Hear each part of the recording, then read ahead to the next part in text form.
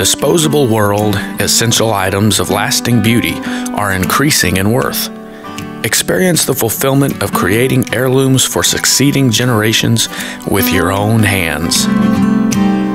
Hi, my name is Frank Strazza with the Heritage School of Woodworking. And in this video, I'm going to show you how to cut an arch using nothing more than a saw, a chisel, and a spoke shave. If you don't have access to a bandsaw, this is a great way to cut an arch.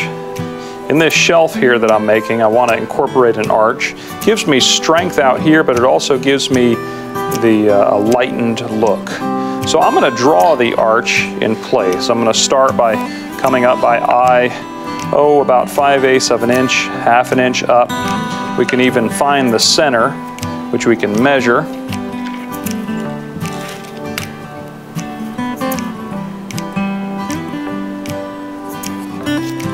Always double check your measurements that way. And now I've got a center mark right here. This gives me the high point of the arch.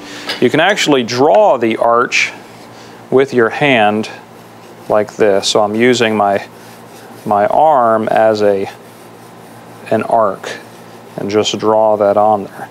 Now this may not be perfect, but you'd be surprised at how the spoke shave, which is the other tool we'll be using, will fair this curve.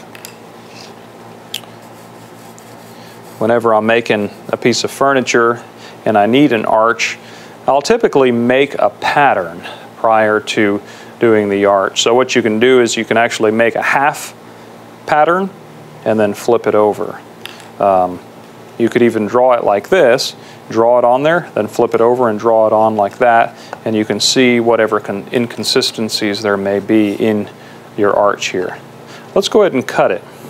So what I'm going to do here is I'm going to put it in the vise and take a dovetail saw and make a series of cuts that actually stop about a 16th to an eighth of an inch above my pencil line.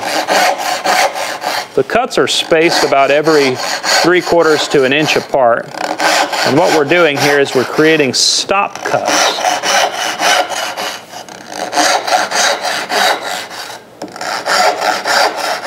And as you can see, they're varied in height right along the entire length of the board there. Next step is to come back with a chisel and remove the waste. I've turned the piece around so that you can see my chisel following the line. You'll notice what I'm going to do here. I'm going to take the chisel with the bevel down and I'm going to follow along that line. Also notice how I keep the chisel engaged in the cut. Now as I work this along like this, I can raise the chisel. If I want a deeper cut, I can simply raise the chisel. If I want a more shallow cut, if I bring the chisel down like this, I'll get more of a shallow cut. So I can actually adjust the chisel as I'm working it along. Adjust the depth of cut. Now as I get towards the center, you'll notice the grain is going perfectly straight, but the arch is going up. If I continued hitting the chisel like this, what would happen is it would actually split out right there and ruin my piece. So I'm going to come back from this side and work back this way. Again, adjusting the depth of cut by how much I raise or lower the chisel keeping, I'm watching that angle as I, as I go through, watching that edge of the chisel, work it, work it, and there we go. So that's how we cut an arch using the stop cut method. Now this is somewhat rough, and even if you did cut this out with the bandsaw, you'd still want to smooth it out. And that's where the spoke shave comes in, which is essentially just a mini plane course, it needs to be sharpened, and it's sharpened in exactly the same way that a plane is sharpened. I've got um, the blade which goes in, and this is beveled down. This is the angle, so this is bevel. Here's the bevel, and it's facing down. So it goes in the in the shave like this. There's a couple different models of these. The, most of them are based after the Stanley series, a Stanley 51 or 151. The 51 did not have any adjusters. The 151 has little thumb screws to adjust the blade in and out.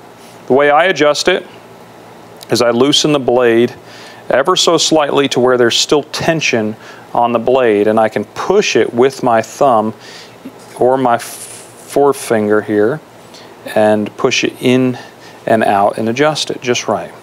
Now that it's nice, I tighten this down. Let's go ahead and start shaping this with the spoke shave.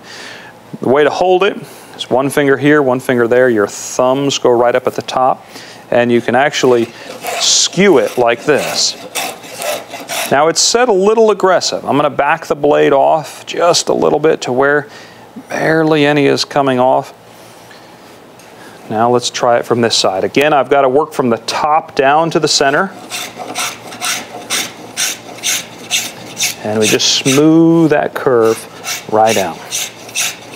Great thing about a spoke shave is you can use it for fairing the curves on a cabriole leg. You can use it for shaping the curves on any sort of headboard or even the back of a violin. You can use it for shaping the curve on the back of a violin. So this technique is, is very useful.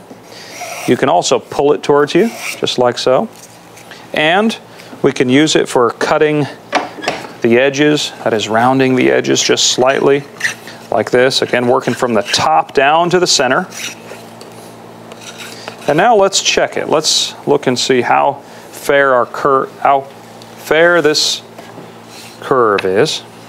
We'll put it on here like this, line it up, and we'll mark it. So I'm going to mark it like this.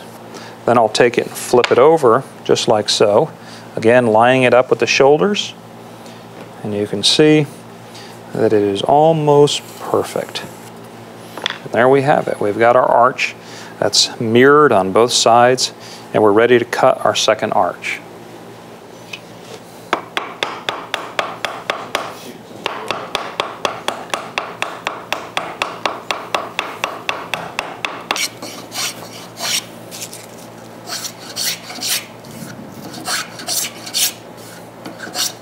Now I've finished uh, cutting both arches, and the next step is to put a chamfer on the ends of these through tenons, as well as on the top and bottom of the, of the shelf pieces. So we'll cut a chamfer on there, we'll cut a chamfer on the end of the tenons, and we'll clean up all of our parts with a hand plane prior to final assembly, dry fitting, and then glue up.